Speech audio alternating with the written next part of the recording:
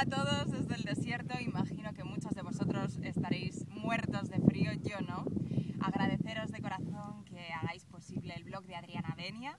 Yo sin duda lo único que quiero es desearos felices fiestas, feliz Navidad y un beso muy.